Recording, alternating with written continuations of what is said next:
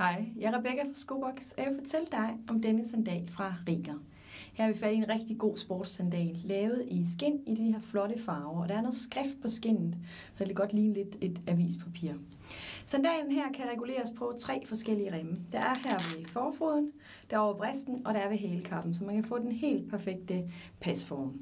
Sandalen er også formet efter foden med svangestøtte og ligger rigtig godt herinde i foden. Den er dog lidt til den lille side af størrelsen. Indvendigt er der neopren, så den også er rar at have på med bare tæer.